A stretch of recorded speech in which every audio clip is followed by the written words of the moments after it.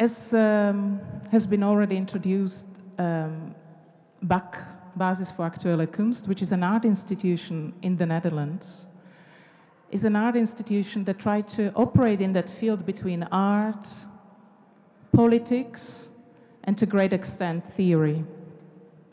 As also has been mentioned, we've been working together with Jonas Staal for a quite long time, and specifically of the project of New World, which include New World Academy, New World Embassy, New World Summit, specifically the last iteration of it called Stateless Democracy.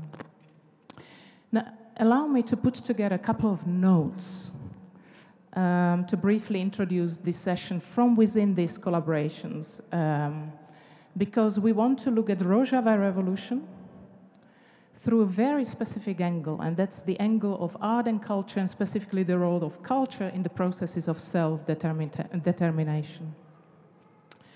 Now, I mentioned I would like to talk a little bit about a few projects we've been, we've been involved with uh, together with Jonas,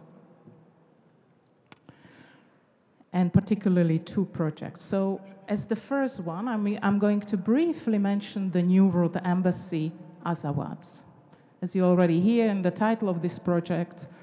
Um, it's a, in some way predecessor to this embassy, but I want you to join me in some kind of imaginary geographical dislocation because this would bring us to Mali in Africa, and specifically the northern part of Africa that has been declared the state of Azawad. As I mentioned in 2014, uh, we have established New World Embassy Azawad at the institution I run, I have a privilege of working with in Utrecht, the Netherlands, together with Musa Ag Assarid and Jonas Staal. And Musa Ag Assarid is here with us, and he will, he will later on this afternoon join us for a panel uh, discussion to elaborate in detail about the embassy and the importance of the embassy for the struggle of the Azawadian, Azawadian people.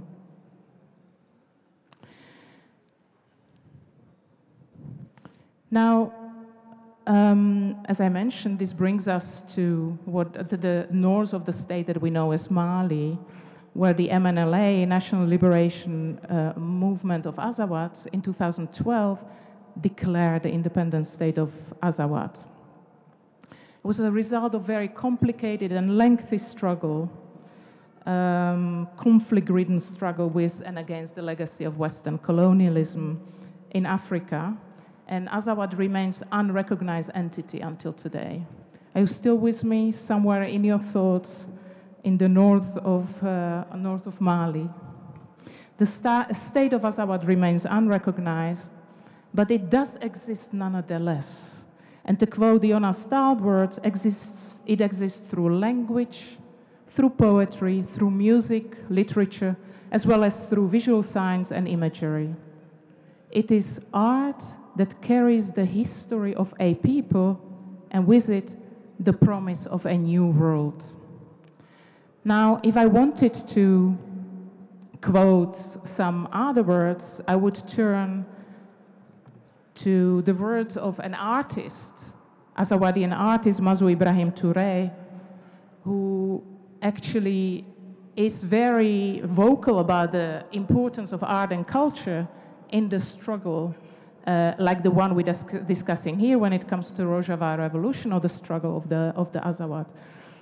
Um, Mazou is uh, an artist, a calligrapher, and a radio personality, and he's absolutely convinced uh, that art is, uh, art is something to play a very crucial role. Art is that which gives people a voice. He speaks very, in a very animated way about slogans, banners, being a poetry of revolution. Art is of great importance, he says, not only visual art, the written word or music, but also the art of satire. Also, the work that he is, he is doing as somebody who's running Azawadian radio. Once again, the, the people, he says, speak through the artist.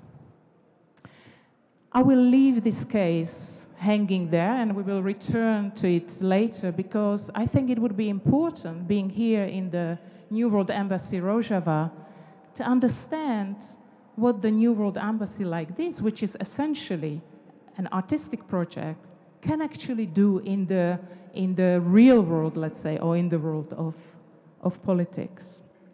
So this was one example, New World Academy Azawad, as a predecessor to this one. And I would like to touch upon another platform, New World Academy. Why I'm mentioning this? Because I would like to draw some lines of solidarity with this particular project. New World Embassy is a school, is an academy, uh, pardon, pardon me, it, New World Academy is a school, is an academy also established uh, uh, by Jonas Staal and his organization together with the organization I run. It's envisioned as a platform for learning and exchange to rethink the dominant forms of representation. Representation in art and in politics, specifically in times like ours. To be very concrete, what such New World Academy does, it brings together representatives of various progressive political organizations, uh, representatives from a variety of political struggles, and artists and students to be together in a very kind of intense situation where they learn from one another as to what the role of art and culture can, should, and must be um, nowadays. We've organized five iterations, just for your information uh, now, because that could be quite interesting to look at the cases of other struggles. We organized such uh, academy with the National Democratic Movement of the Philippines, with the Amsterdam-based collective of undeportable, undocumented refugees in Limbo, for example. We worked with the international pirate parties, with the National Movement of the Liberation, uh, for the Liberation of Azawad, as I mentioned. And the last one was specifically realized under the name Stateless Democracy, uh, together with the Kurdish women's movement. And I'm waving with this book. Um, it's available online. It's important compendium volume of extraordinarily texts and interviews coming from within um, the Kurdish women's movement. Really hugely important. And I think um, uh, the very fact how often it gets downloaded and read by people around the world already attests to the fact that there are lines of solidarity across the world with Rojava Revolution that we would like to cherish and harness throughout, throughout this conversation. Now, the idea of the New World Academy, New World Summit, New World Embassy is to assemble people not just like that, but because we feel that there is something we have in common. It's not just to study the struggles that appear far away, somewhere else in the world, but understanding that we are part of the struggle, that we can contribute to winning that struggle, and that struggle is actually not theirs but ours. And I think that's really important. Now, if you look around here, this is also a sort of an assembly. If I look around assembling artists, architects, curators, theorists, scholars, and specifically uh, a variety of Kurdish communities, I want to see how we can understand all of us in the room to be artists. That we dismiss that notion that there are they, the artists, who, who have some magical power to imagine a better or another world, and then the others. I want us to act here today all of us as artists who have capacity to imagine, articulate, and embody that kind of other world that we, that we imagine. Now, in order for this not to be just a panel discussion, we do this in the art world and in the, in the universities and academia. We talk, we talk, and it's very important talk, and it's imagining other worlds, worlds that are different from those uh, we accommodate um, we, where we imagine the ways to be together in this world otherwise. But I think we need to move beyond imagining these worlds and try to see how together we can enact those worlds. How can we make those worlds we all desire really take place? Now, being this embassy, we are in an embassy. very different embassy than the embassies I know and negotiate very often. How do we use this as an opportunity to not just be another discussion, but actually that we together enact something like an art and culture department of that very embassy to draw lines of future policy of an embassy that will represent, and one day it will, the world we really want. So I really would want all of you to join me in this sort of effort. I hope I will manage to not just control time, introduce the speakers, but inspire you to get into this conversation, to become part of this conversation. And once again, not just of imagining models, but making those models reality. Before we start doing this, we have an amazing keynote speaker that is going to speak to us. One of the ambassadors of this wonderful, uh, wonderful embassy, Sinem Mohammed, who is going to present her, her keynote. Just a sentence of introduction for Sinem, who is a foreign representative of the democratic self-administration of Rojava. She has represented the self-administration in various opening representation offices for Rojava all over Europe and beyond, including Berlin, Stockholm, Paris, and Moscow. And this is where I leave it for now and invite Sinem to deliver her keynote. Thank you very much.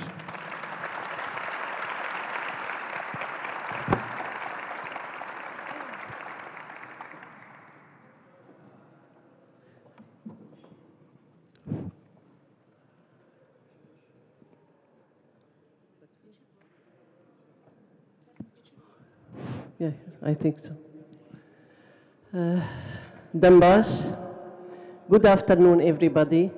Ladies and gentlemen, friends of Kurds, friends of humanity, we are here in very significant place. It is the Rojava administration embassy. You are all welcome in the embassy of Rojava. You are all, it is really a very small place for all the people to be in our embassy, but we are really very sure that our heart is very big to have you all together here. Thank you for coming. And I would like in the beginning to thank all the organizations who established this, the World Summit, New Sum, uh, World Summit, and even the mayor of the Oslo city. I'd like to thank you all here who are coming to listen to us. And we'd like to open our hearts and talk about what is going on in our place, in Rojava, in this small place as the embassy of Rojava. Thank you very much for your coming. And I would like to thank also Ms. Maria. Uh, and in the beginning, our, our topic is a little bit different from the politics, as I say. But we have to know that culture, arts, they are not a wave separated from politics. They are not. Everything in this life is related to politics. But everything in simple or different ways as we understand the politics. So in Rojava, when I say Rojava because this is the, the embassy of Rojava, I mean the representative of the Kurds, the Arabs, the Assyrian, Syriac, all the components who are living in Rojava together. These representative all these people. It represents their cultures, their colors, their politi policy. We can't deny anyone here. We are all here in this embassy. Let me go back first. Mesopotamia's region, or the, the word Mesopotamia. Thousand years ago, everybody knows that in Mesopotamia, different people that were living there, Uh, multi-ethnicities, multi-religions. They were living in very peace. But when the authorities, when the nation state started, these will, we can say, now disappeared. We have one nation state, one language, one nation, which is maybe Arabic nation, and this is what happened in Iraq, in Syria, in everywhere in the world. You can see only uh, in our Middle East, I'm talking, you can see only one religion, one language, one nation. Let me talk to the, the Syria as the uh, Arab Republic Syria. It is an Arab Republic Syria. But the people who are living in Syria, they are not all Arabs. So in these words, you are denying the identity of these people. And when you deny the identity of any nation, that means you are denying also his culture, his language, his arts. For that, denying the cultures, the arts, the language, the feelings of the people, you are denying all this nation. For that, when the Rojava administration or the Rojava revolution started, 2011, and it was started actually in Syria under the name, or not in Syria, even in Tunisia and Egypt, under the name of the Arab Spring. Everybody heard about the Arab Spring. For me, I don't like to call it Arab Spring. I prefer to say it's a people spring because this spring it's not only for Arabs. It's for all the people who are living in this region. Kurds, Arabs, Assyrians, multi-religions like Muslims, Christians, Yazidis, Alawis, and Durzis, and so on. So this is the revolution of all these people with their nations, with their religions, with their identity. In revolution of Rojava, we can call it the revolution of women, as my colleague Asimus Asya Abdullah mentioned. And we can call it also the, the cultural revolution. Why cultural? Because we deny the culture of the nation that time you can have the uprising to get back your culture, to get back your arts, your songs. And this is what's happening actually. When we say any artists, painters, singers, writers, poets, all these people, they reflects the daily life of their society. And they reflects the feelings, the hopes, the pains of their people.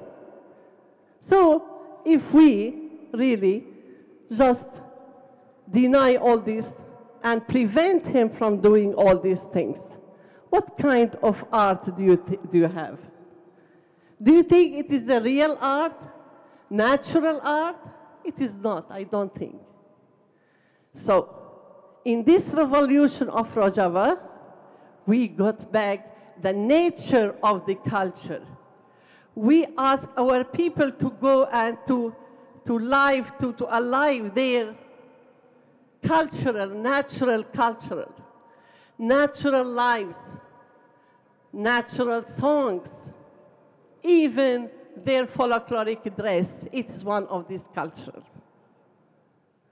So, when I talk about Syria during al-Ba'ath regime, that time, let me talk about the Rojava.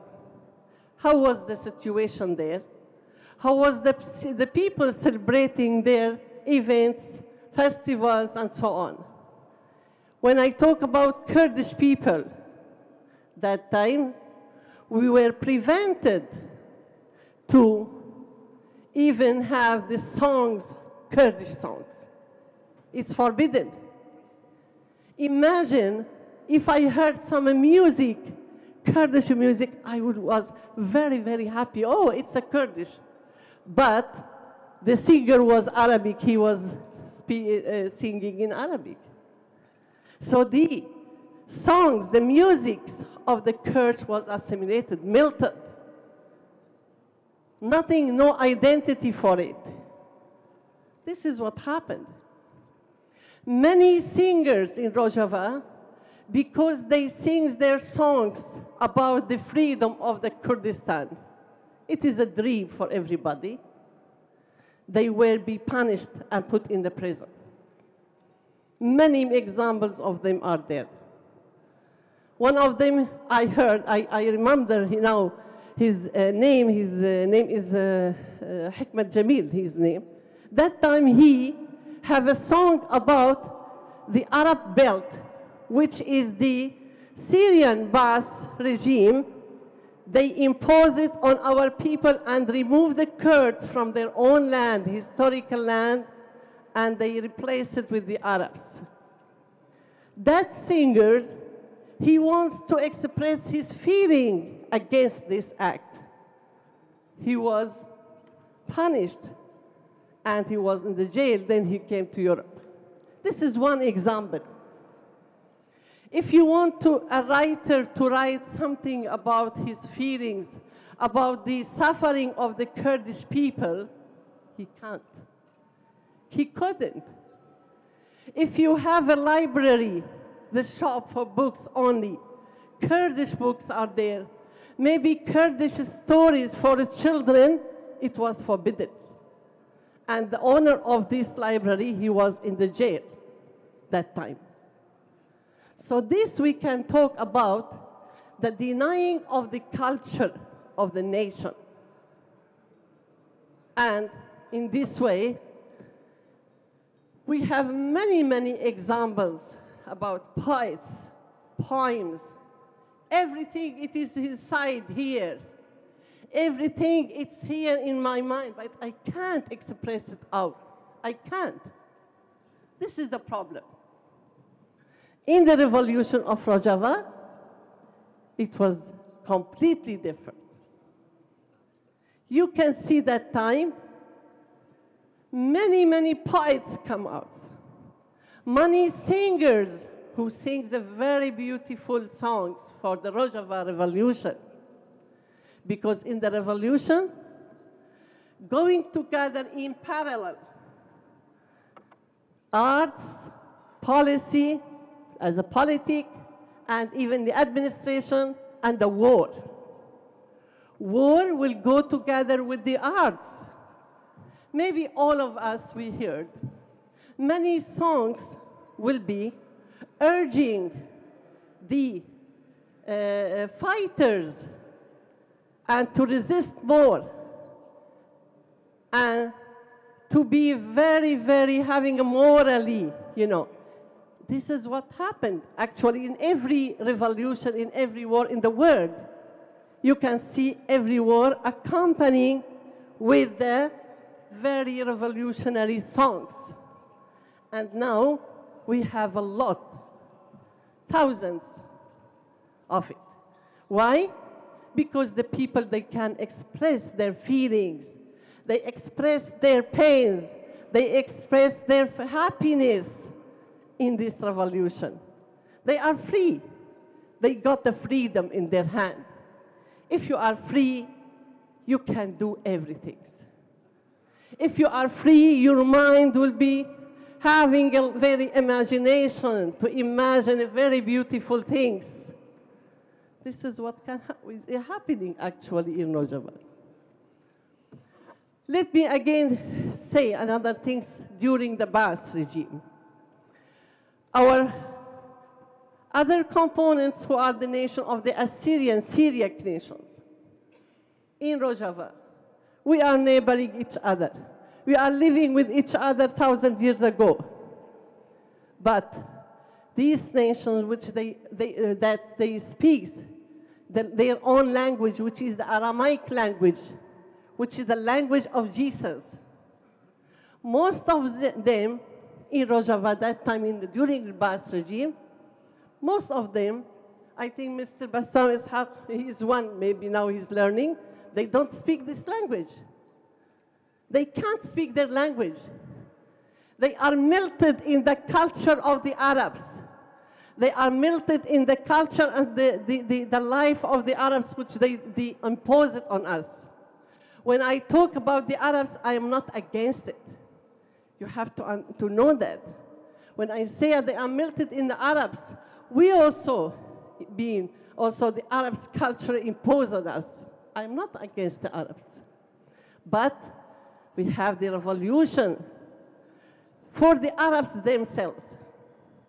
Because we face very great challenge, which is the chauvinist of the Arab mentalities. These chauvinists, they who pre- uh, prevent us to have our own language, culture, music, poems, everything. That time, Assyrian, they can't speak their language, the Aramaic, the, the Jesus language. Imagine that. Now, they are really, I'm so proud to see the, most of them now having schools to teach their people the Aramaic language. So this is related to the politics. It is in the politics itself. They have now their cultures, centers for their cultures. We have the center of the culture, which is the Committee of Culture in Rojava administration, that is, we can say, the Ministry of the Arts and Culture in Rojava. It is not named Arabic Center Cultures, like before, like in Ba'ath. It is named under the name of the Committee or the Center of the Arts and Cultures for Arabs, for Kurds, for Assyrian, for everybody. Not only Arabic culture, not only Kurdish culture. And this is what's going on there. So, if I talk about all these things, I think we can relate politics, arts, and war, fight all together. All together, we can connect them together. I can just say one thing. During the Kobani, everybody know the historical struggle of Kobani and resistance. During that, we have this, the, the, the fighting in Kobani, the resistance of Kobani inspired the poets, the writers, the singers to express their feeling about Kobani. So it, it's inspired them. They express, they write, these writers and these singers, poets, they wrote thousands of poems and epics about the struggle of Kobani and about the lives of the martyrs who sacrificed themselves in Kobani. And it is an amazing stories. Amazing poets comes out. Why we didn't have it before? Because we are not able to do it. Our, our mouth is stopped, closed. Nobody dare it. Nobody dare to say, I want to sing a Kurdish sing, song. Nobody. Believe me.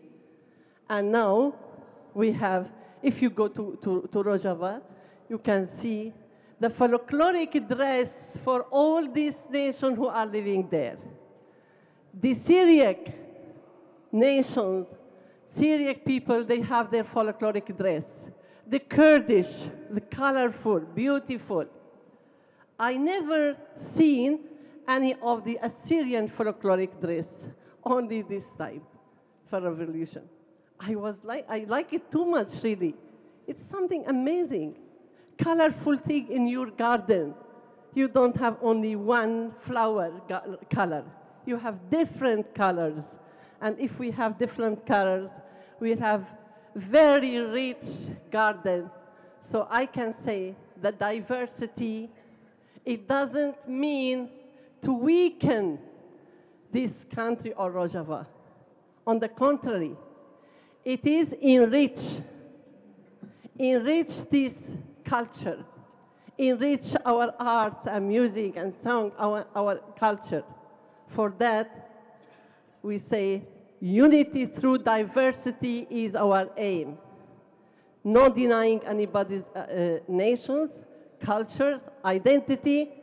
It is for working together to enrich our life and to have a good, good relation with all over the world.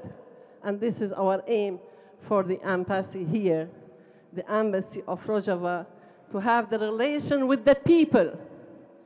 The people here in Norway, the people in Europe, because we have many representation offices there. It is for building the bridges among the people, and which is the strongest one, believe me. Thank you so much. Thank you. Thank you, Sinem.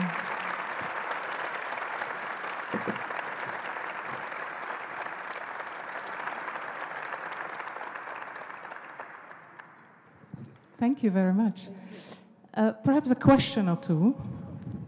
Um, you called the Rojava Revolution culture revolution. And I think that's something we should not let go unnoticed. And maybe um, also in relation to the term that was articulated in the previous panel in the, um, in the relation to confederalism. It was called culture confederalism. And that's something that struck my mind, and I wonder whether you want to touch upon that, that, that notion of culture revolution that you, that you used in uh, articulating that there's no distinction between culture and politics. And some, that's something that we would need to maintain. And how do you see that in relation to that notion of uh, culture confederalism? When I say uh, politics and culture, they are not separated. I mean here when you have the policy, political system, which impose one culture on you, that time you will not have any democracy the, the confederalism, democratic system will open the gate for all the cultures, for all the nations to come out with their arts, with their feelings, with their music even.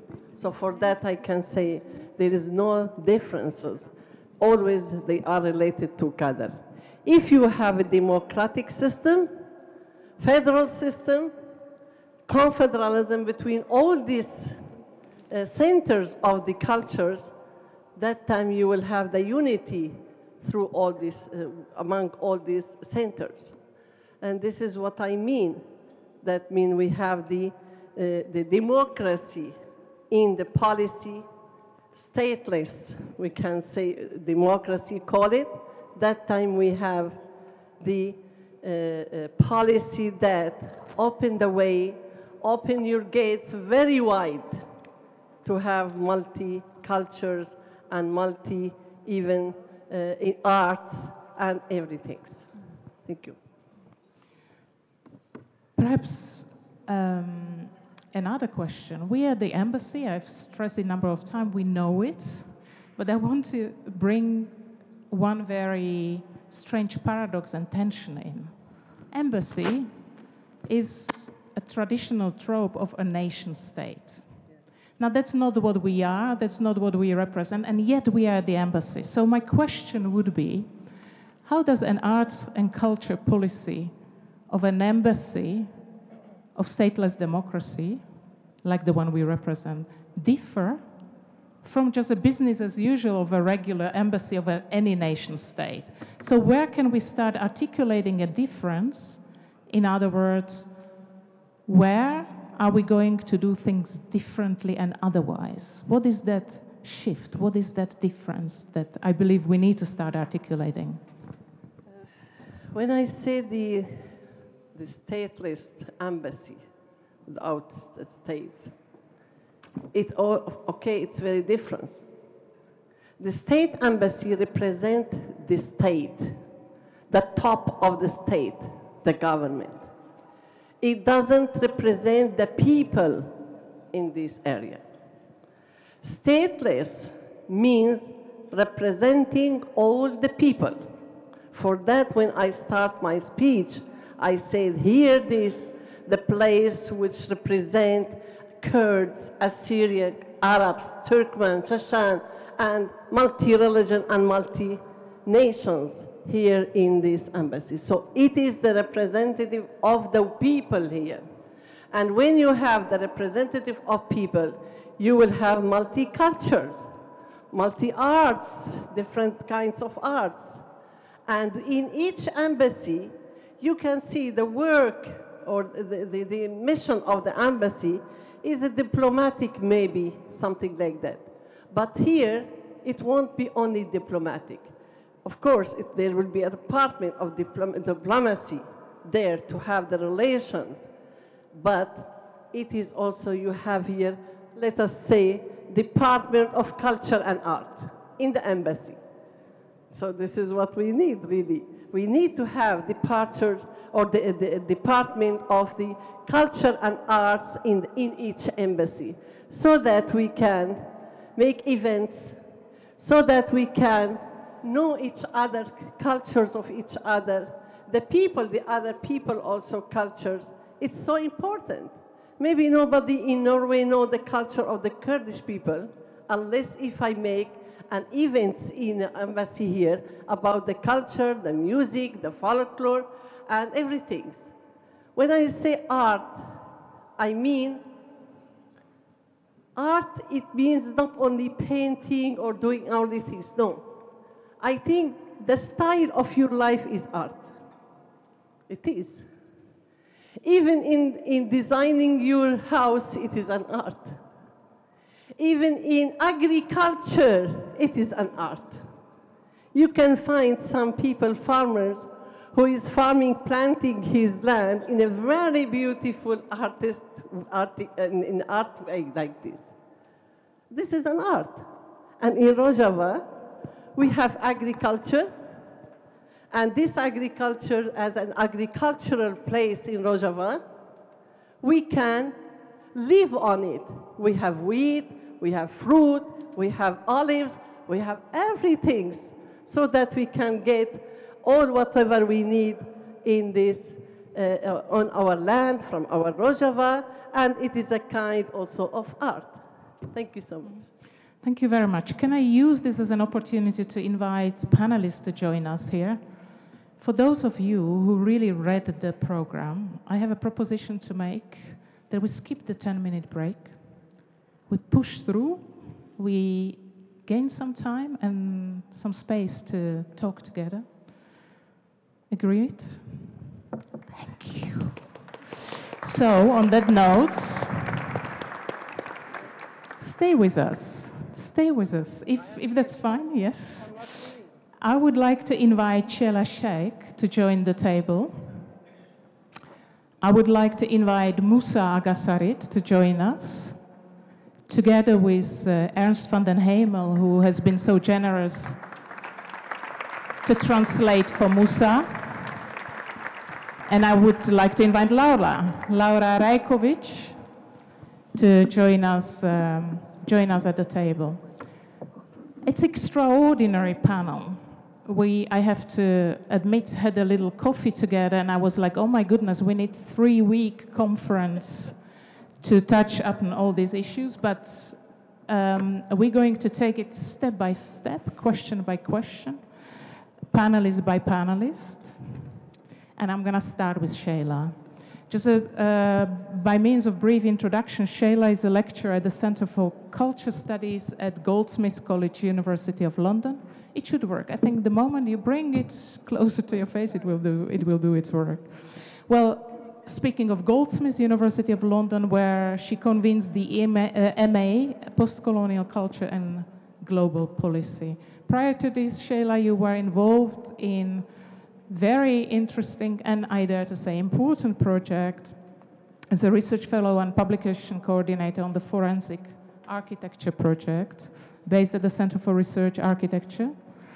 Um, you received uh, your PhD in history from Goldsmith with I Am the Martyr X Philosophical Reflections on Testimony and Martyrdom. And currently, I think this is very important also to relate in relation to the last statement Jusina made. You're looking, um, you're working on a multi-platform research project around colonialism, botany, uh, and the politics of the soil. So I want to take it from, uh, from their start there. And of course, I know that as an academic and a teacher, you actually read quite a lot of texts. I also would hope from this, uh, from this reader on stateless democracy. And I would be uh, really, really interested what ideas from this particular case of stateless democracy, from the particular condition of Rojava revolution, uh, you brought in into your teaching, into your thinking about the post-colonial and decolonial condition, uh, condition today. And that would be interesting precisely with the last comment of Sinem to connect to, to those issues. So please, the floor is yours. Okay, thank you, Maria. Um, to connect to the issues of the planting as art Okay, this is going to take a little while in that case. Um, just first of all, it's an incredible pleasure and honor to be here. And I think now I'm hearing double. Everyone? Oh, okay, all right, I'll try. Um, just to give a little bit of background, so the program I teach in London is basically the idea is to look at a variety of issues around contemporary globalization through the lens of post colonial studies. And I think very much like what we just heard about the title of After Belonging, when we say post colonial, we don't mean a temporal post by any means. Um, and I think one of the, the core aims of the program is to show how, even though the historical phenomenon that we know as colonialism is officially over, um, more or less, actually, traces of colonialism, or what we can call coloniality, do persist all around us and are very, very much tied up with the modern idea or modern construction of the nation state. Um, so, the case of Rojava and the Rojava Revolution, or Kurdistan more broadly, is really exemplary insofar as, as we've heard a few, day, few times already today, Kurdistan really is an internal colony. It's really living proof of the way in which colonialism has simply not gone away. Um, so, the construction of a modern nation state, we see, I mean, we can critique the way in which the state is at once the guarantor and also the violator of human rights. We can critique the way in which the modern nation state or the state forecludes, let's say, forestalls democracy. We've heard a lot about that already today, so I'm not going to belabor that. Um, so there's a lot of elements, also this sort of triangulation between colonialism, the state, and patriarchy. We've heard about this a lot already today. So actually, what I think is perhaps more interesting is actually to talk a little bit about it, not so much in relation to the content of the teaching, post-colonialism, but actually in relation to pedagogy. Um, and we've already heard quite a lot from various speakers about the importance of teaching and pedagogical structures in the Rojava Revolution. Um, and going back to the publication, it was actually it was actually in the context of uh, week teaching about the nation state that I didn't teach stateless democracy myself. I wouldn't want to. I'm interested in it. I don't feel like I have the expertise in the Rojava's context, and I think that's sort of something that we need to think about who has the right to speak for a certain topic. Um, so, for that reason, I invited someone who I'm sure many of you in this room know, Dilar Dirik, who's an absolutely wonderful academic, but also an activist who's working with the Kurdish women's movement. And I bring her in because basically, for me, she in the lecture she gave, she encapsulated so many things that I think are really core for us today insofar as she was able to, and I don't want to embarrass her, she's probably somewhere in the virtual world, one of our virtual uh, addressees. She was able to narrate a history and a theoretical background, but also to make it communicable. And I think that seems to be what we're trying to get at today, and it's what Maria was already bringing up, not only today, but also in Utrecht, when Maria was talking about a common vocabulary that we need to find. As we've already heard, it's more urgent than ever to find that vocabulary with the rise of right wing populism, um, with Trumpism, and so on and so forth. We, as people who are working within academia, art institutions as well, there's a pressure even more than ever to find a common language, one that doesn't eliminate difference, and hence there's an importance for the notion of the translator or the person mm. the figure of the translator. So someone like Dilar was exemplary in that, Sinem as well, in terms of being a kind of spokesperson for a cause who can translate a cause, because we're also thinking about the translatability of the Rojava revolution from the very specific on a global context. So there's a slight paradox I was just thinking at play insofar as everything we've heard today is talking about giving a whole community a right for self representation. And yet, within that, you actually need certain individuals to rise up and to translate those concepts over. Um, Can I, I ask about the concept of ecology? Yeah, yeah. And in the, in the little green book that all of you received, there is a wonderful text by Amina Osse where she's looking at the social ecology or ecological society and that's really, really important, crucial element um, in, in Rojava revolution and uh, in the entire concept of stateless democracy. And this is this idea of botany or ecology. Uh, that's something you've been looking at. So can we understand, how can we understand ecology as part of culture and political struggle, yeah. would be my question, basically. Yeah. Okay, so everybody who has the book, if you open it on page 63, there's a page where Amina is talking specifically about towards an ecological society. And this is something that's intrigued me for quite a while about the Kurdish struggle, and especially in Rojava, this notion of a social ecology. So just to read, she's saying, we, we see ecology as the basis of society. We even regard ecology as the science of society. So again, I see this as a, another sense of translation. A, I don't know the local word for ecology, but when we have the word ecology in English, ecology can mean a lot of things. So it can mean a set of relations between various organisms within an environment, or it can mean a more sort of concrete, literal sense of the way in which we as humans interact with the nature around us.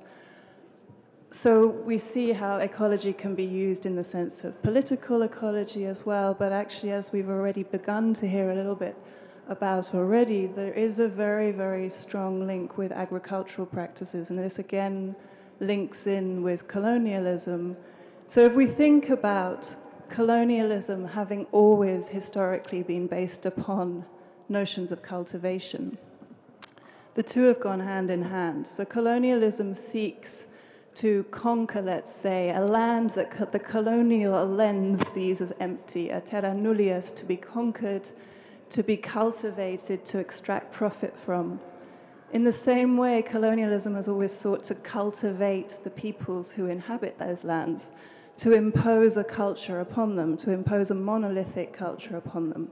So we see a sort of translation between um, practices of monocultures, planting of monocultures, high yield, highly productive modes of production and cultivation, and also the imposition of monocultures upon ecologies of identities, let's say. Um, I would even risk the proposition, since we're talking about culture, that potentially we could see all culture as colonial in some way. So maybe that's our task to think about how to make it less colonial. Um, where else to go with this? I think also, you know, it need, we need to think about practices of cultivation um, in terms of a kind of what we can call an epistemicide. Mm. So, an eradication of local forms of knowledge, an eradication of relations with the environment and the soil um, and plants that are really reflected in local traditions and cultures. So then our task would be, well, how to create, I mean, you spoke of creating new worlds, how to create new ways of relating to our environment that rely on the commons, for instance, as opposed to the enclosures, um, that rely on a sense of community that isn't, that's based on the communal as that which is held in common, that's not based on an economy of profit, that's based on a sort of sense of nurturing and caring for the environment. Um, and I think Rojava is exemplary in that, insofar as one sees these very concrete practices that are beginning to diversify the mm-hmm. types of planting, the cooperative structures, the education, the eco- ecological education, and also, as you're saying, so planting as an art practice. Maybe to touch upon forensic architecture project. I know the project has been changing and it, uh, it uh, moved forward, but the whole project of forensic architecture is quite of interest for us here, I think, because the group, artists, theorists, academics, architects, activists, actually looked at um, architecture to provide evidence, huh? forensic architecture, to provide evidence about war, about war crimes, um, uh, devastation of various, uh, various forms. Can you explain at all, in this context, standing in on an architectural side in a way, um, how architecture can be used actually in relation to social justice? And I noticed throughout the day that the word architecture has been used multiple times in very different ways. In the very first keynote, we talk about the question of new world and how do we envision architecture of the new world right? So it's speaking about language that we are building among ourselves. That would be quite interesting to touch upon but for now i would like to really focus on that question. Could you explain how architecture can be used in relation to social justice? For example when it, when it comes to cases um, such as the violence perpetrated against the Kurdish movement in Turkey and Syria. And I would like to know whether forensic architecture has engaged in any such, or yeah. plans to engage maybe with any such cases. Yeah. Okay, so just a little bit of background. There's uh, the the project Forensic Architecture emerged in 2011 with funding from the European Research Council out of the context of the Centre for Research Architecture, which is at Goldsmiths, University of London. The project is led by Eyal Weizman, an architect and theorist who I believe was speaking here in September, so some of you might be, I see at least a couple of nods, familiar with his work. Um, so, as Maria has already explained, the project mobilizes a whole set of different practitioners. Uh, so, architects, artists, theorists, legal scholars, scientists, so on and so forth, to gather evidence, be it architectural or, from, or through spatial analysis, against human rights abuses, war crimes, um, human rights violations, and to present that in different legal forums, legal forums, but also social and cultural forums. Um, the group, it, as Maria mentioned, the format has changed slightly insofar as before it was very much a research led project, which isn't to say it isn't still, but it's actually acting more like an agency nowadays and commissioned by institutions. For instance, Amnesty International, who commissioned this year a project that was looking into um, a prison in Syria, um, Saidnaya, um, where it's a torture prison basically where human rights um, observers couldn't get into that space. So often the project is operating in spaces where there are there is no access to legal infrastructures, to justice, let's say, kind of spaces of exception when it comes to the law. And they actually took interviews from survivors of the prison who were able to reconstruct, through the use of sound primarily, the space in which they were held captive. So they were able to provide a kind of evidence of a place in which no actual official kind of forensic investigator could enter into to gather, gather evidence. But I think what's important for our conversation around this assembly, this notion of the assembly, is the emphasis on the notion of the forum. So, forensic architecture, the word forensic in the title, it's actually closer to the original Latin word, which is forensis, which used to mean pertaining to the forum. And at the time, the forum was a legal, social, and political space. Over time, forensis has changed to mean the sort of science that we now know it as. So, the science of going in and investigating a crime scene and collecting evidence. So, that is usually carried out by science that is endorsed and sanctioned by the state. And the whole project of forensic architecture is actually to provide evidence that can counter the violences of the state that can counter the claims to public truth made by the state. But the use, interesting thing about the notion of forensis is that often, when, for instance, there is an absence of human testimonies or human survivors or witnesses, materials themselves, so architecture, for instance, but also beyond objects or even parts of the body, can be used as evidence.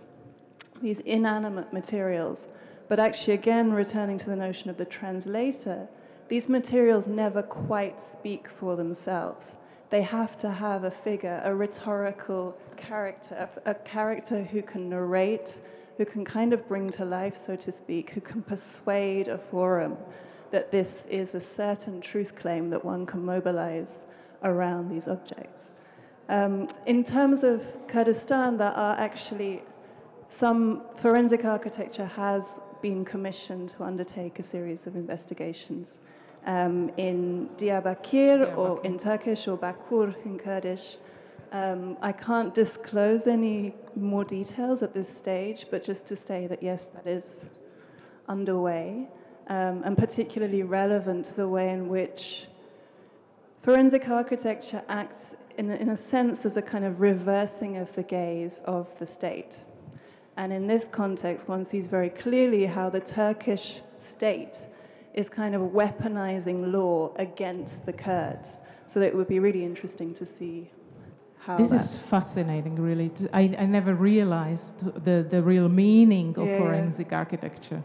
And speaking of stateless democracy and Rojava revolution, this is an important ally, yeah. right? To turn that gaze and provide evidence about the violence of the state itself. Yeah. It's, it's really quite interesting. And the way in which the state can use law, one sees this all over the world. Law in itself becomes a tool through which to wage war. So that's another oh, yeah. of the kind of paradoxes of complex. Yeah. Let's leave it here for a moment, and I want to use the link to the notion of forum and turn to uh, Musa. Just a, a quick introduction. Muka, uh, Musa Ag Assarid uh, is a writer who was from 2012 to 2016 actually a European spokesperson uh, of the National Movement of the Liberation of Azawad, also known as MNLA. In 2016, he founded a new organization, Free Azawad, an organization that aims to further the struggle for an independent Azawad. And as has been mentioned a couple of times, together with uh, Jonas, Jonas Staal, he founded the New World Embassy Azawad uh, at BAK. I just want to turn to you first. Just could you, quite quickly, in a couple of words, um, introduce the struggle and perhaps also seek connections to Rojava revolution, if possible?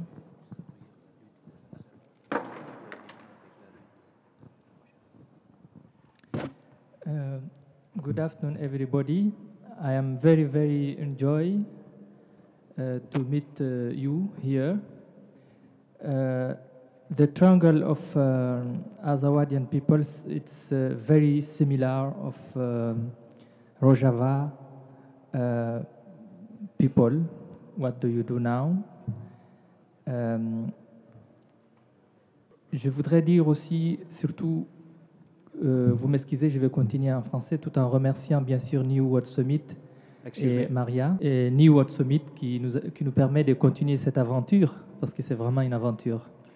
Juste en, guise d'introduction rapidement de, de mon propos, je voudrais dire quelques mots par rapport au concept même de- d'ambassade, de, New World Ambassade. Mais avant cela, vous me permettez aussi juste de prendre une minute de votre temps pour nous aussi, le peuple de l'Azawad, euh, offrir, enfin, penser pendant une minute aux martyrs aussi de l'Azawad, mais aussi de tous les martyrs de tous les peuples qui luttent pour leur liberté et leur dignité.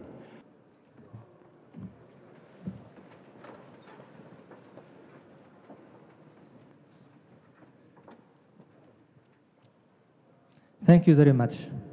Thank you.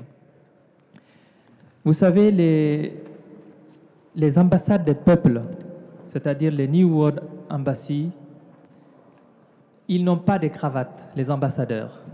Ils n'ont pas de salaire. Ils n'ont pas de carrière individuelle. Mais ils ont un sacrifice collectif pour un intérêt général de leur peuple. Ce que nous voulons surtout, c'est transcender les frontières et exister en tant que peuple en lutte pour sa dignité et sa liberté. Nous, de l'Azawad, vous savez, on est un peu similaires, comme je disais tout à l'heure. Nous avons pendant tous les temps vécu dans une sorte de confédération de, en, fait des Touaregs, mais aussi des Amazirs, et avec tous les peuples qui vivent ensemble. Donc en 1960 euh, déjà, 1960, il y a eu l'indépendance du Mali, mais nous n'avons pas été associés à cette indépendance. Donc en 63, nous avons fait notre première révolte contre l'État malien. Et depuis lors, nous nous battons pour l'indépendance de l'Azawad et en 2012, en 2012, nous avons proclamé, lorsque nous avons chassé l'État malien sur notre territoire, l'indépendance de l'Azawad. Et lorsque déjà, juste le, le mois suivant, c'est-à-dire nous l'avons proclamé en avril 2012, et déjà au mois de mai 2012, nous avons été invités à Berlin par New World Summit. Et là, nous avons cru que c'est possible. Avant, nous, pensions que nous étions les seuls peuples colonisés encore. Et quand nous avons rencontré tous les autres peuples qui sont un peu comme nous, nous avons dit Ah Et lorsque New World Summit et Maria avec euh, Bach, nous avons pu créer notre ambassade. Parce que c'est vraiment l'ambassade de notre peuple soutenu par ses amis, ses vrais amis. En fait, je pense avec euh, l'expérience que j'ai, parce que moi j'ai une petite expérience, parce que euh, nous sommes le premier New World Ambassade, New- premier New World Embassy of Azawad, et vous, vous êtes les deuxièmes. Donc, en fait, nous sommes euh, en train de créer le nouveau monde du XXIe siècle. Avec ce que nous sommes en train de faire, c'est un éveil et un réveil des peuples épris de paix et de justice. Nous sommes en train de vivre l'histoire que nous sommes en train d'écrire à la fois par notre sang et par aussi les sacrifices. Donc le New World Summit qui, a créé, qui, nous a permis de créer New World Embassy, ce sont des ambassades qui représentent des peuples, comme l'a dit tout à l'heure Madame Mohamed, ambassadeur, Excellence Mohamed. Nous, ici, nous sommes en train de représenter les peuples pendant que les hommes en cravate représentent les États. D'ailleurs, nous, nous sommes en train de ramener le monde à sa propre réalité essentielle, c'est-à-dire que nous sommes des hommes et non des machines. En tant que peuple, nous pouvons prendre des engagements moraux et que nous pouvons respecter parce que ce sont des paroles données. You mentioned something really important that uh, Sinam you introduced in your speech. There is no distinction between culture and politics. In, um, in relation to what you said, that by building these embassies, we're essentially building a new world. A new world, in the own words of the 21st century, awakening, uh, a sort of awakening of people in their dignity. Now, I want you to be quite specific about what that embassy did. What did the embassy of the New World, um, a New World embassy of Azawad, what was the reaction? And where I'm heading towards is that it trembled or caused tremor far beyond what we know the world of arts and culture. So I want you to weigh on that claim that there's no distinction between culture and politics if we do our work right. En fait, ce qui s'est passé, c'est que nous avons, nous aussi, euh, réfléchi de façon artistique, de façon culturelle, de façon aussi euh, architecturale, c'est-à-dire les moyens d'expression des hommes ce qui fait la différence en fait entre les hommes et les animaux. Avec euh, cette collaboration avec ces projets, chez nous, dans l'Azawad, nous avons coïncidé aussi l'ouverture du New World Embassy of Azawad à Utrecht, aux Pays-Bas, le jour de l'ouverture des négociations entre l'État malien et les mouvements de libération de l'Azawad. Qu'est-ce qui s'est passé ces jours-là? Ils étaient en pleine discussion lorsqu'ils ont appris qu'il y a l'ouverture d'une ambassade de l'Azawad en Hollande. Et le chef des Nations Unies, un des chefs des médiateurs, c'était un Hollandais. Et à la pause, ils n'ont parlé que de ça. Et ça a marqué en fait la suite. Et Maria le sait parce que euh, les États ont été interpellés. Et nous sommes revenus au fait que puisque c'est une initiative politico-culturelle, nous pouvons continuer. Ça crée en fait un espoir auprès de la population, auprès du peuple de l'Azawad. Et ensuite, un rêve. Le rêve est tout proche. Comme on dit, le plus long voyage commence toujours par un pas. Alors si les Pays-Bas reconnaissent l'Azawad, c'est déjà le début de l'indépendance de l'Azawad à la table ronde de l'ouverture, il y avait des députés de, Pays-Bas. Donc il y avait des représentants du peuple. Euh, à Utrecht, il y avait des députés avec moi qui parlaient de l'initiative et qui, qui, soutenaient en fait l'initiative de, de, New World Embassy.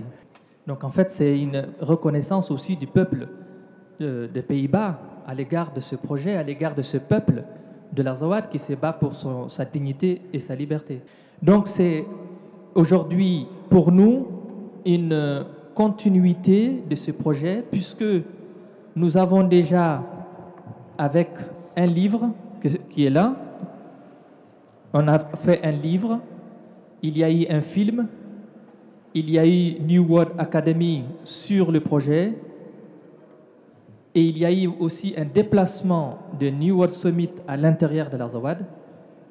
Et il y a l'association des artistes de la Zoad qui travaillent sur le terrain avec des artistes du monde entier euh, que nous avons rencontrés à Berlin lors du New World Summit à, à Berlin. Thank you. I want to turn to you, Sinem. How do you view this proposition? Because let's not forget, we're building this Department for Arts and Culture of the New World Embassy, Rojava. quite some statements have been made about the meaning of the embassy to which uh, Musa has contributed. How do you see the future of this embassy in that sense? And also linking to the previous conversation again, where calls were made that actually this embassy should become permanent embassy in Oslo, but also to spread to other cities. And that I find really quite interesting proposition starting from the space of art art and architecture project with this sort of a proposition. So I would want, you, want to uh, get your take on uh, Musa's statement. Yes, uh, always 100 uh, miles starts with the first step, or 1,000 miles. So we started now here. I hope we will continue.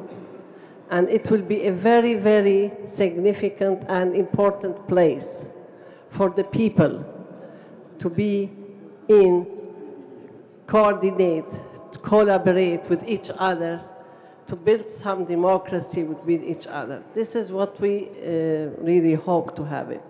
Maybe here in Oslo, we'll have the, now the embassy.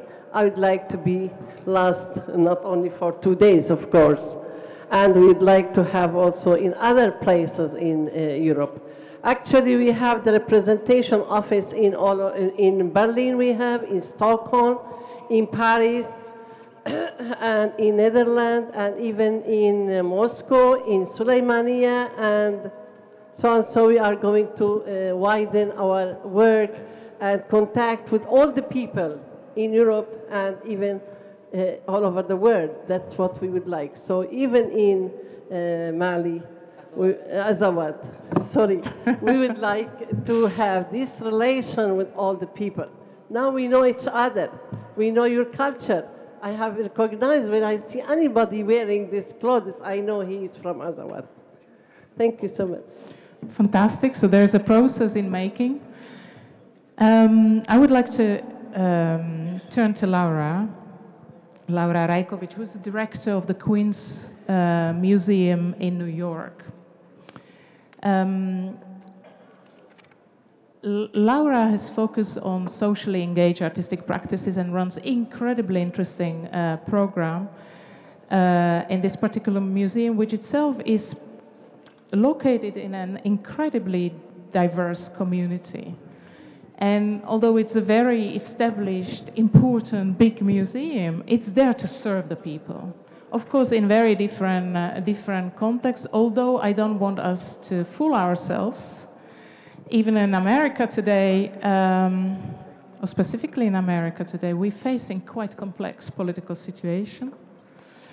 So I would like you to perhaps re uh, reflect on the ambassador's opening notes and take it from there into uh, discussion of the role of art in culture stru uh, political struggles. Sure. Um, so uh, just thank you all for having me here. It's really a great honor. Um, and um,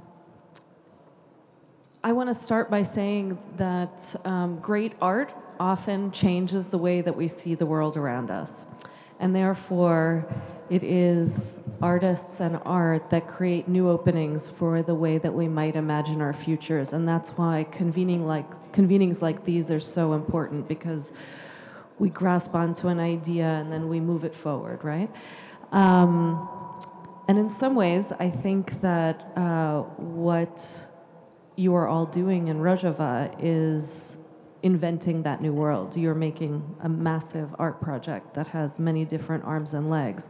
And I think that artists are often driving the future, driving us to a different point. They're making us see what we didn't before.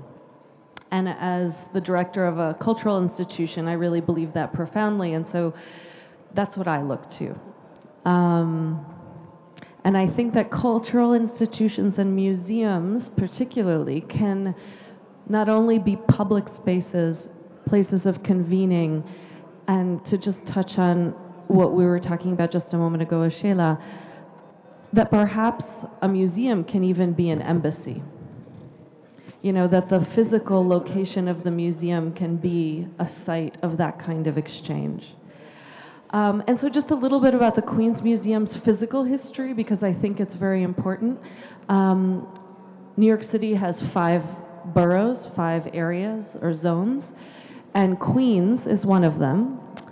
And it is a very popu- densely populated borough, but it is also literally the most diverse place on the planet. There are more than 165 different languages spoken in Queens. Some of those languages are no longer spoken anywhere else in the world. So the kind of cultural mixing that we have is really extraordinary. If you take the, the subway to the Queens Museum, every stop is a different people that get on and off. It's really quite remarkable. So the Queens Museum is first and foremost to serve the communities that are around the museum itself. So it's very important to me that we create programs that that speak to those realities of those people. This is really, really important. Um, but it also requires us to make space for imagination. So there's this constant, in really great art, I think there's this constant push and pull between imagination and usefulness, right? I mean, that's what we've been talking about today a lot, is how it makes you imagine something, makes you inspired, but also becomes useful, becomes a lever. You know, like the, the New World Summit, uh, the New World Embassy for Azawad, it was a thing that opened something new, a new a new, uh, a new highway. Um, so just to say that the Queens Museum itself was built in the building was built in 1939. It was built inside a park that was itself built to be the site of the first World's Fair in New York. So already an interesting context. It was built not to be the Queens Museum, but to be the New York City Pavilion. So the building where New York City would show off itself. Um, from 1946 uh, to 1950, the United Nations met in that building while the UN was being built in Manhattan. And then in 1964, again, the World's Fair came back to New York, somewhat controversially, and uh, and became again the site of the World's Fair and the New York City Pavilion. And the museum started uh, operating in the building not until 1972. But it is this international history, very important geopolitical decisions were made between 46 and 50 at the museum. These textures are still there. They're, re they're represented by the many different types of people that live in the vicinity of the museum. And also because people are constantly communicating with their friends and relatives halfway across the world in Queens. Whatever is happening hyper locally is also inextricably linked to what's happening halfway around the world, and we never lose that cycle.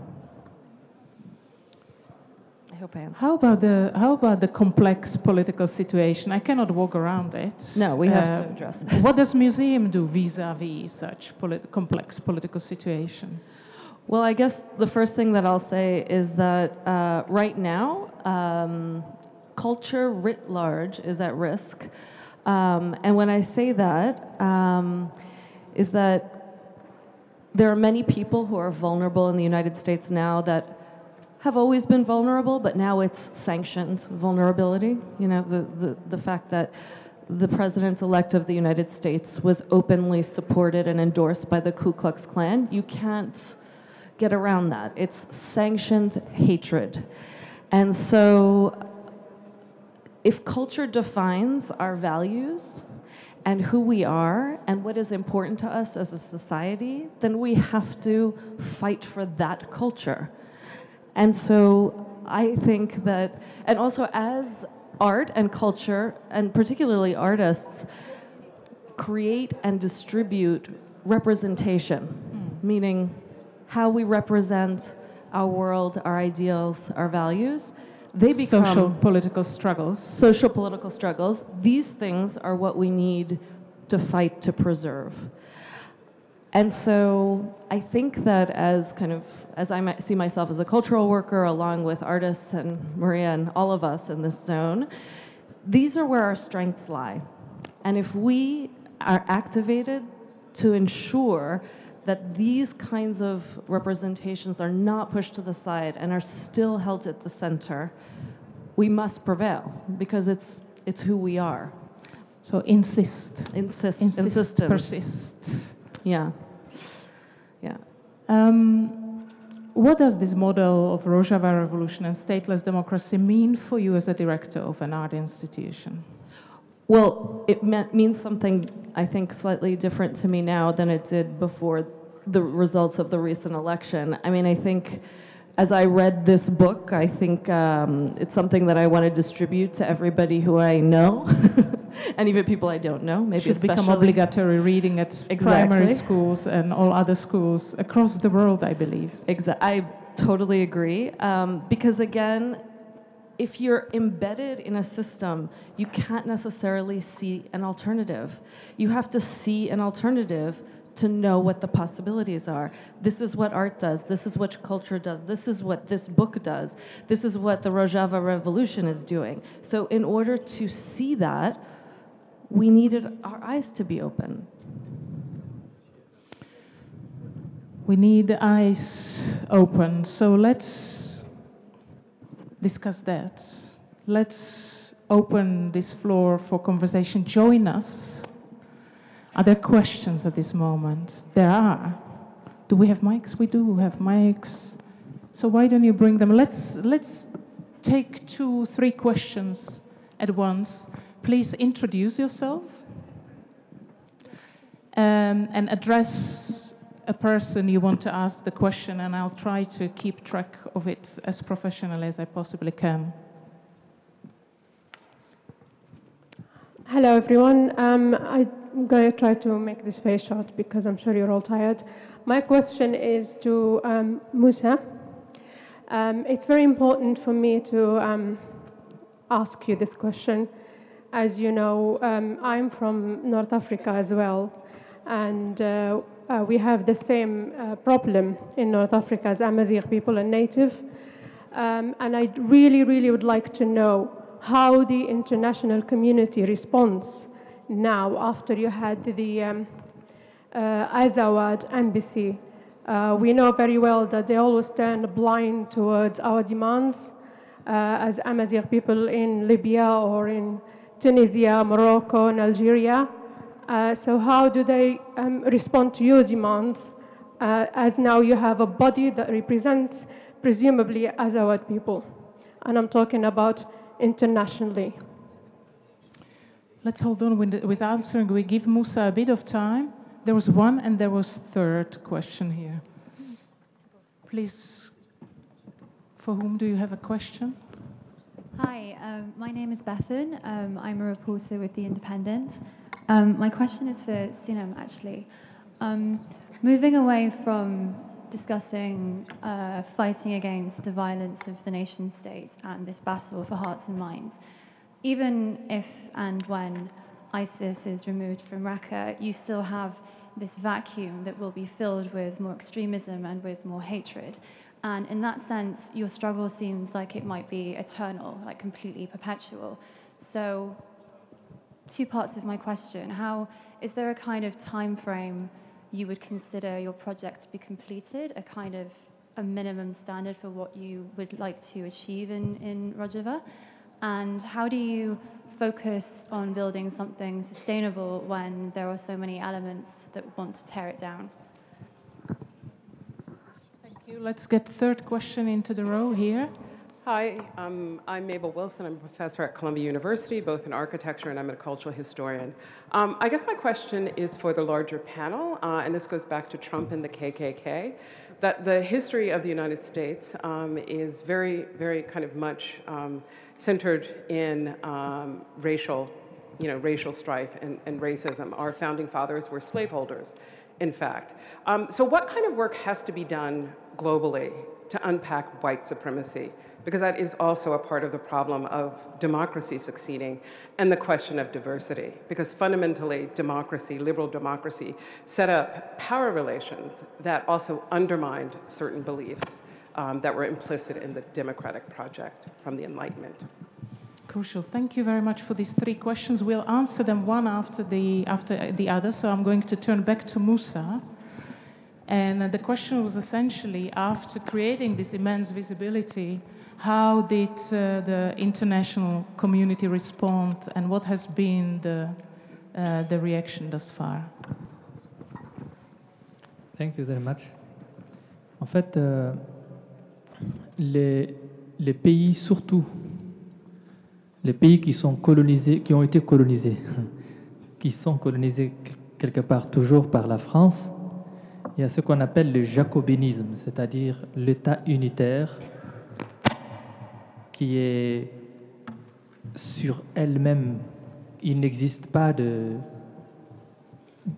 diversité vraiment reconnue par l'État jacobin. Donc, effectivement, nous, dans l'Azawad, il y a essentiellement quatre communautés ethniques. Il y a les Touaregs, les Kaltamashaq, les Arabes, enfin les Morts en fait, qui parlent arabe, les Songoï et les Peuls. Les Touaregs, les Kaltamashaq se retrouvent avec les, les autres frères Amazirs dans effectivement toute l'Afrique de l'Ouest. Ils sont originaires de l'Afrique de l'Ouest. Ce sont les premiers peuples de l'Afrique l'Afrique du Nord, pardon. Du Nord. Lorsque nous avons proclamé l'indépendance de l'Azawad, on nous dit, mais si l'Azawad devient indépendant, mais les Touaregs qui sont au Niger, ils vont demander la même chose. Les Touaregs qui sont en Algérie, pareil. Les Touaregs qui sont au Burkina, ceux qui sont en Libye. Et même peut-être les Amazirs qui sont en Algérie aussi. voyez? Donc ils nous disent, non, on ne vous laisse pas devenir indépendant à cause de ça. En fait, la question de l'indépendance, c'est une question très, très, très dangereuse pour les États déjà existants. Parce qu'ils ont créé ce qu'on appelle les Nations Unies. Les, Nations Unies qui regroupent en fait des États et qui se sont enfermés sur eux-mêmes. Ils ne veulent pas l'expression des peuples qui veulent eux aussi devenir indépendants. Ce qui s'est passé aussi, c'est qu'il y a eu l'intervention étrangère chez nous, soi-disant qu'il y a la présence d'Al-Qaïda chez nous, donc des terroristes islamistes. Et ce qui leur donne l'alibi, ce qui leur donne en fait l'argument pour dire nous allons intervenir chez vous pour préserver le Mali. Les États en fait et leurs médias, ils ont effacé l'aspect politique de l'Azawad pour dire qu'il y a un problème de sécurité, un problème de terrorisme. Aujourd'hui, il y a une recolonisation, voire une, sous-tutelle de l'Azawad, mais aussi du, Mali, euh, des armées étrangères, notamment l'armée française. Mais il y a une similitude avec les, les autres peuples, comme le- les Kurdes de façon générale, c'est que nous menons une lutte légitime à laquelle le peuple croit et il est prêt à consentir les sacrifices qu'il faut, donc on avance. Ce qui manque en fait, je pense aujourd'hui pour les Amazirs de façon générale, mais aussi pour les Kurdes de façon générale aussi, c'est l'unité, c'est l'union, c'est la solidarité. Si tous les peuples comme nous aujourd'hui décidons de nous donner la main, nous pouvons créer aussi ce que nous pouvons appeler United of New World Peoples. Juste une des premières choses que nous pouvons faire, par exemple, vous êtes ici témoin de cet engagement que nous pouvons prendre peut-être demain, c'est qu'à Rojava, l'Azawad est son ambassade et dans l'Azawad, Rojava peut avoir son ambassade. We have a plan.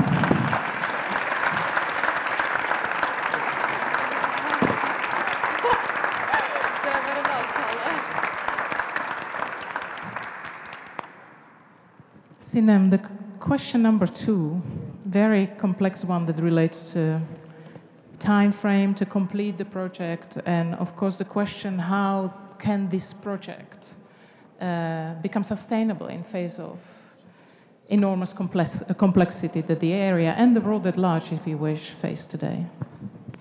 Uh, Thank you for the questions about the uh, asking about the after the liberation of Al-Raqqa, which is the capital city of ISIS in Syria. How could we change people there? How could we build stability in this place? Uh, I would first, I would like to say one thing. Now, the liberation of Al-Raqqa city, the capital city of the Islamic State, ISIS, it's now already started to liberate it.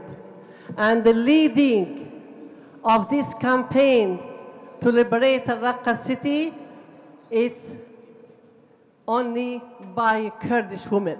She is the leader of this Al-Raqqa city now liberation.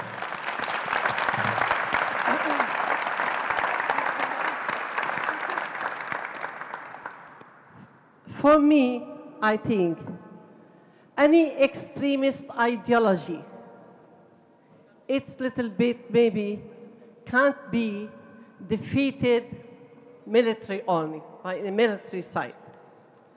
Maybe, of course, for first step, but After the military defeated, what we need for this place, which is controlled by ISIS more than two, three years, we need to build a new society there.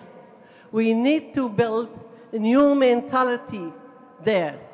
We need to have economic support there and even work to change this mentality of people. Again, I will go back through culture, arts, poets, writers, as it, novels. We have to change the mentality of the people through music also. In this way, we can do so many things. We are working, actually. The local people of the city of Raqqa, they themselves, they can administrate themselves. They will be feeling free. And to get rid of the extremist ideology, step by step, we have to build it together. Education, to let them open their eyes.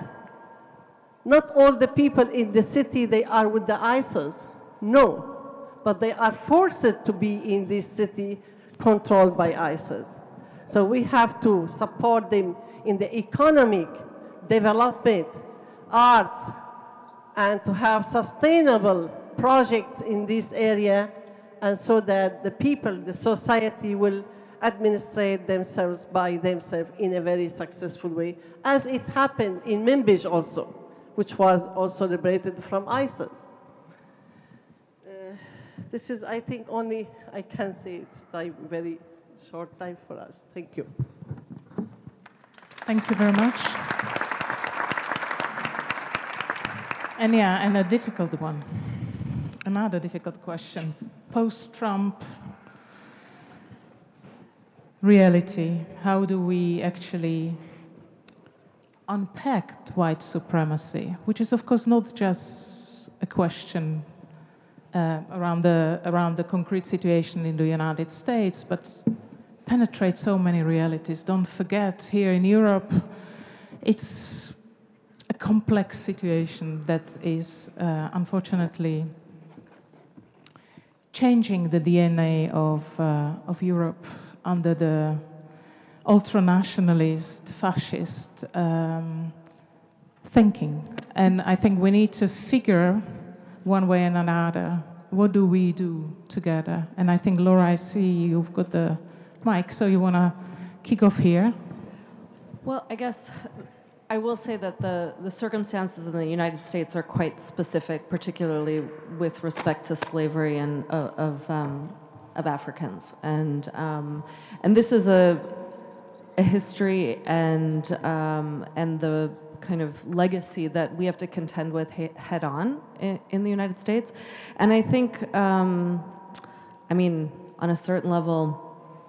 I can't say I was shocked by Trump's election. We all know that this hatred of um, people who are uh, not members of the dominant culture get um, has been extant for a very long time in the United States. I think that the part that is very frightening is that now it's sanctioned, it's open, it's open season. Um, and so, what can we do for each other um, who don't believe in this um, kind of uh, fascist activity? One thing that I've been thinking a lot about is um, the kind of larger multicultural project um, of kind of uh, embracing difference in a very important way. And the fact that facing race as an issue in the United States is primary among the things that we need to address. And I think something that's been reflected in the conversations about Azawad and Rojava has to be our willingness to make sacrifices and I think that's core to that conversation. And I think it's also relative not only to issues of race, but also to questions of indigeneity. Um, because, of course, the history of the United States is also highly problematic in its relationship to the indigenous people um, of North America. So, to talk from a museum's perspective as an institution, one of the questions that I'm always trying to ask myself is how do I undo or use or, or how do I look at the museum as a place that has reified and reinforced over time the, the ideals of the larger culture, and how do I begin to subvert its, the museum's own authority within my power? And so, to me, that's part of how I try to contend with these very kind of negative forces, the things that I think are highly problematic. Um, particularly when people ask me a question like, well, how can you, isn't a museum supposed to be a neutral place? Isn't that, uh, how can you be so political within the context of your museum? And my answer is, well, museums have always been political spaces. They're spaces of reinforcing the ideologies of the dominant culture. So what I'm trying to do is invert that equation. So I guess, I mean, this is an incomplete answer to your question, Mabel, obviously.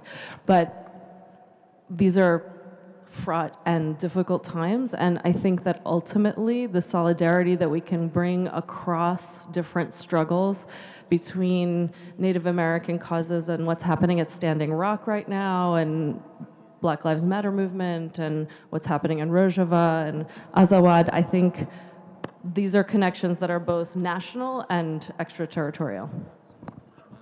Thank you, Laura. I think we are in the world where only incomplete answers are possible. And I think we need to learn living with it and try nonetheless. But maybe, Shela, you want to weigh in? Um, thank you for the thank you for the question. I think it's fantastic.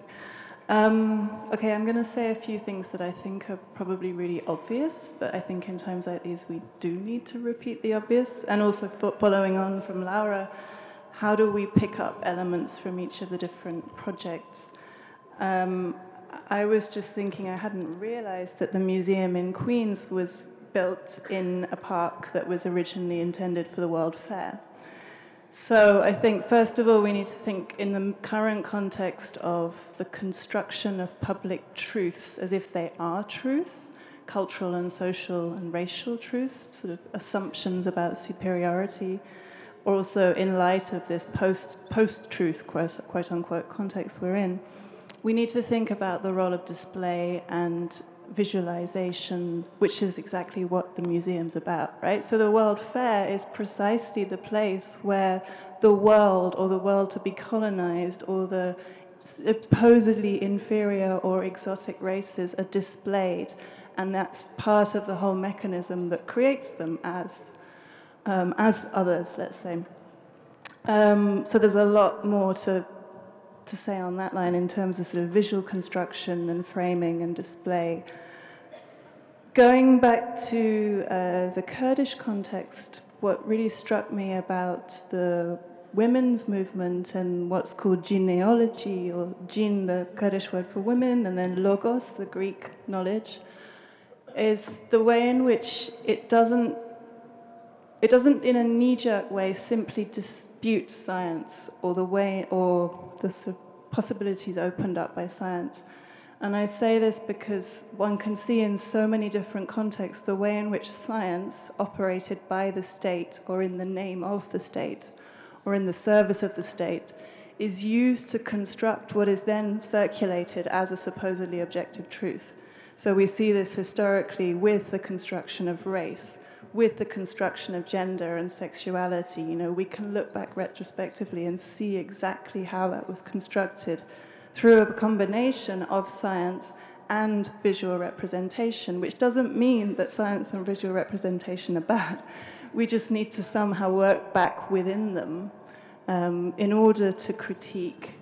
And then also from the um, Kurdish context, I think, and what you were saying about the politics of recognition, what's really productive about the Kurdish context is that there's a real drive, in the sort of absence of any imminent recognition from other states or international bodies.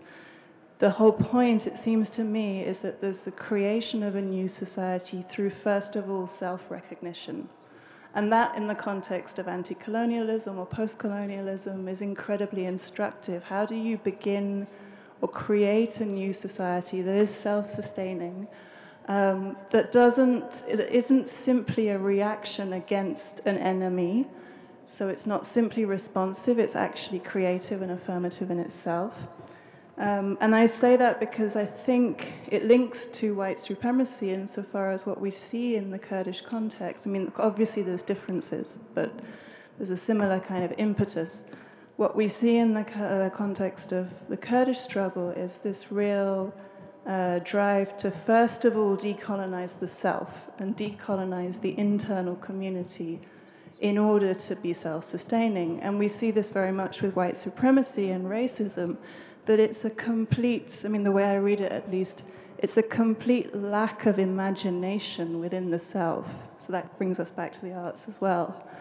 Um, and it seems like that's what's necessary, first of all, a first, an internal decolonization. Thank you, Shela, for weighing in. Would you like to weigh in, uh, Moussa?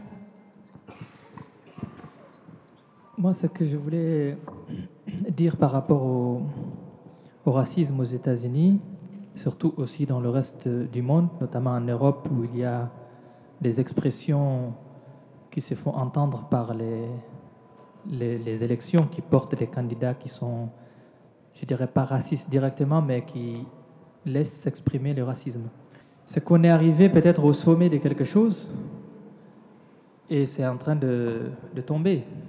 Maybe Donc maintenant, c'est à nous de créer un nouveau monde pour euh, aller plus loin. Quand on voit ce qui se passe aux États-Unis, mais aussi quand on voit ce qui s'est passé récemment en Angleterre, euh, notamment les Brexit, on s'est dit l'Union européenne est en train de s'effondrer. Le pays, ou en tout cas la fédération de pays le plus, qui inspire le plus le monde, c'est-à-dire les États-Unis d'Amérique, est aussi en train, quelque part, de s'effondrer. On se pose des questions. En fait, c'est l'argent qui est en train de commander les, expressions et les sentiments des hommes politiques. Et je vous donne un petit exemple, c'est Standing Rock. Standing Rock, actuellement, c'est-à-dire les, indigènes, les autochtones euh, aux États-Unis, à Dakota, qui sont en train de, se battre les mains nues. Vous comprenez la situation? Ils veulent faire un néolithique qui va traverser les régions des, des Indiens d'Amérique, c'est-à-dire des autochtones. Moi, je pense que pour euh, surmonter cette euh, difficulté, cette euh, période de notre histoire, il faut trois ou quatre choses. C'est-à-dire que la machine, l'argent, nous a apporté à un certain niveau où nous devons maintenant nous poser la question d'où nous venons? Puisqu'en fait, c'est c'est un peu comme si on ne sait plus où on va. Donc, il faut vraiment de l'éducation, une éducation qui s'inscrit dans l'écologie, c'est-à-dire la terre, revenir sur la terre, et surtout regarder les autres, c'est-à-dire nous ouvrir sur les autres, euh, nous ouvrir aux autres, comprendre que l'autre, il est comme moi. Si je le pince, il va dire aïe. Moi aussi, si on me pince, je vais dire aïe. Donc on est pareil, on est les mêmes. Donc positive, positive action. Thank you very much, uh, Moussa, also for mentioning education, mentioning the notion of ecology, and for you, Shela, bringing the, the notion of jineology, the women's science. And I think this brings us back to stateless democracy propositions, and specifically um, the women's science is a really interesting resource of thinking uh, about this. So I would like to offer a word to you, Sinem, before we conclude this panel. Thank you. Uh, I can answer in just a few words. If we want, what do we want with each uh, from each other? To live in better world. The democratic nation, it is the solution. Nobody will deny anybody. No one can say you are black, you are white, you are so and so. You are Kurds, you are Arabs, you are whatever you are.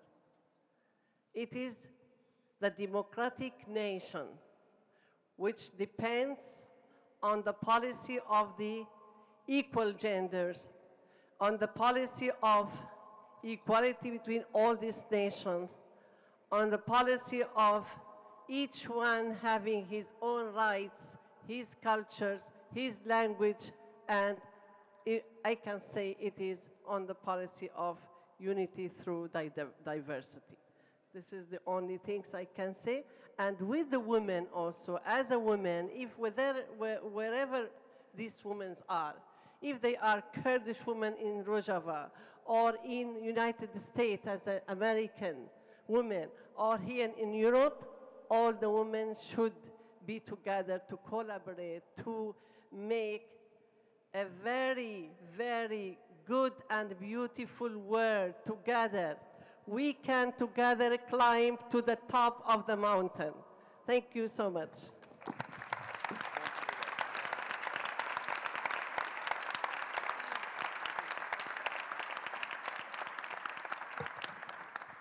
Now, on that note, I know there are many more questions, but we have an informal evening together, so there will be opportunity for all of us to reach towards whomever we wish and discuss these things further. Just by way of very impromptu makeshift conclusion, I um, hope you're joining me in appreciating extraordinary contributions to this panel where we discuss the notion of art and culture in the process of self-determination. We called for new world, we called for better world, and we also understood here in collectivity that we only can do it together if we recognize similarities in, uh, in our respective struggles. Now, there were very concrete propositions. We're going to build more embassies, some New World Embassy of Rojava in Azawad and other way around. There were propositions of understanding how solidarity could work, not only between or among different struggles we had here, we had here uh, in, uh, uh, at, the, at the table, but many other struggles in the world because there are enormous com communality. We discuss art and culture as a space where things can happen, where things can be pre-configured, like this embassy coming as an art project and becoming more and more real. We discuss the space of art, or we discuss art as uh, practice, or something that you, Sinem, called for, art as an attitude towards the world in which we are, in order to build new ways of being together, ways of being together in this world otherwise. And perhaps um, the very last thing I could do is to return to Jonas Staal and quote his, his closing words from his essay to the stateless democracy reader. What is the task of art in times of emergency, he asks in relation to the Rojava revolution. The artists and educators of Rojava seem to provide an answer to write, imagine, and enact history according to the stateless. Not only peoples forced into statelessness, but in the case of Rojava, those who have decided to live without a state. And if Jonas calls for writing a history according to the stateless, I would like to invite all of us to decide the present according to the stateless and the future as much so. Thank you very much. Thank you, the panelists, and all of you.